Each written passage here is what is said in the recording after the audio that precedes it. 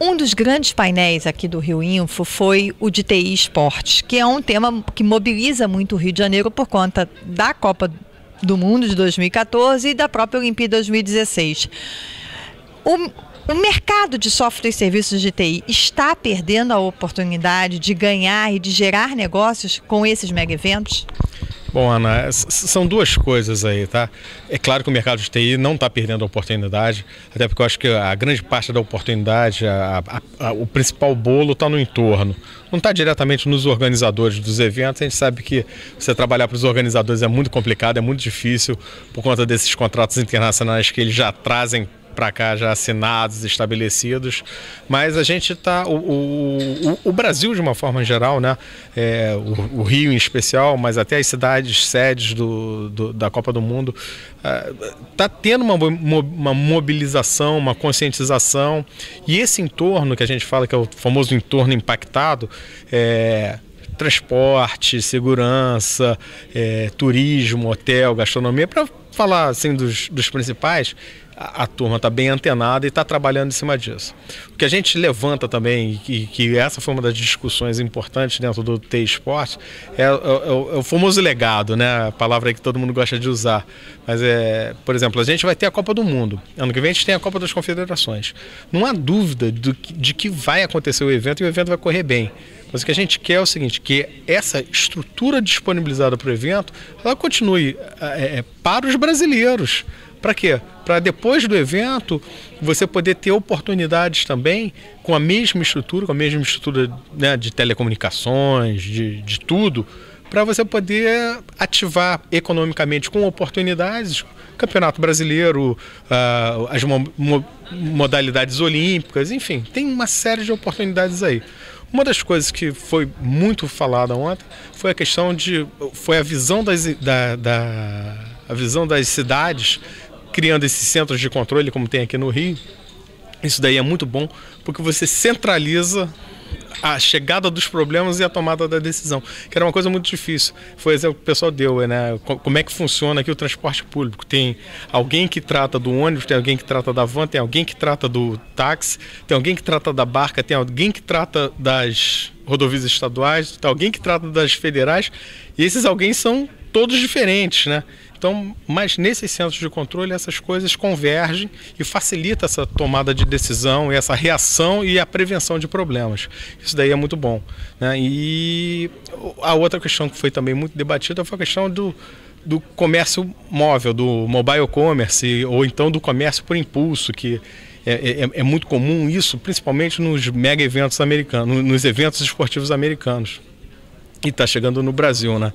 Então a gente tem que estar tá preparado. Agora, de novo, todas essas oportunidades são coisas que independem da Copa do Mundo e da Olimpíada. Claro que a Copa do Mundo e a Olimpíada vão alavancar essas coisas, como a, própria jornada da, da juventude, vão alavancar essas coisas, mas o que a gente quer é o seguinte: ok, legal, tem que ter estrutura para depois disso continuar essas oportunidades. Que eu creio, é, é, eu creio fielmente de que as empresas brasileiras vão ganhar muito mais negócios, vão gerar muito mais oportunidades de negócios depois dos eventos, ou seja, na consequência dos eventos, do que propriamente diretamente neles. Aqui também houve uma discussão forte sobre petróleo. O Rio de Janeiro é a base desse, dessa, dessa oportunidade. Como que as empresas de software e serviços estão se mobilizando para atender a Petrobras, para atender a esse mercado de petróleo que está aí crescente, que tem pressão? Pois é, isso daí também é uma coisa que, que, que a gente consegue observar, que as empresas estão ficando um pouco mais maduras. É, antigamente a gente tinha aquela choradeira, ah, mas eu não consigo vender para a Petrobras, mas a Petrobras é muito difícil de vender ok, agora as empresas estão começando a tomar consciência do seguinte, para poder vender para a Petrobras, eu tenho um, um determinado leque de ações que eu tenho que tomar, a minha empresa tem que estar estruturada de uma determinada maneira e essa turma está tá se organizando e a gente vê um, um, um crescente de empresas brasileiras fornecendo, principalmente para a Petrobras, mas para a cadeia de petróleo como, como um todo, né, que, como eu sempre falo, é, a empresa de petróleo ela tem que contratar um, um escritório de contabilidade também para tratar da contabilidade dela. Então o cara que tem um software de contabilidade ele é impactado por essas por, por esse mercado aquecido. Então impacta tudo como um todo. Claro que a gente briga muito por ter um aumento de demanda, tanto da Petrobras, focada no, merc no mercado interno, nas soluções é, realmente nacionais. Isso daí é uma briga que a gente vai continuar tendo, vai continuar com esse discurso, porque, enfim, aí é, é a questão filosófica, né? Mas é, eu vejo, numa crescente, eu vejo as empresas cada vez mais estruturadas e fazendo bons negócios no, no mercado de petróleo. O Rio Info tem duas áreas importantes, que é a rodada de negócios e a parte do salão de inovação. Qual é a avaliação que fica dessa décima edição do evento? Olha, a rodada de negócios esse ano foi um absoluto sucesso. É, foram cento, mais de 140 empresas participando, mais de 24 milhões de reais em negócios prospectados e de expectativa de negócio, mais de 600 reuniões realizadas, foram 70, mais de 70 empresas internacionais participando. Então a gente está vendo aí, a gente vê o Rio Info efetivamente é, como um polo gerador de negócios, ou seja, as empresas vêm para cá para fazer, para fazerem negócios. E isso daí para a gente é, é, é, muito importante. Então a, a rodada de negócios esse ano foi realmente realmente é, sensacional. Quem, quem não veio perdeu, que se prepare para vir para 2013. E a parte do salão de inovação, o que, que a gente tem de inovação aparecendo quando está? É o salão de inovação esse ano a gente procurou fazer uma coisa um pouco diferente. Uh, a gente buscou é, projetos pelo Brasil inteiro.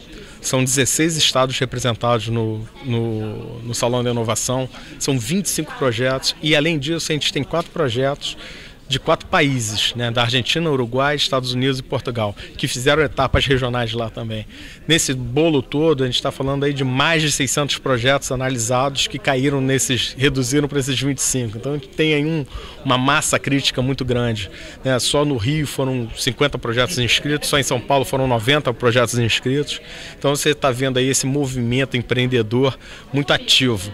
E os projetos são os mais variados possíveis, desde aplicações como é, ou, ou, então portais na web, ou, ou, ou softwares tradicionais, tem de tudo.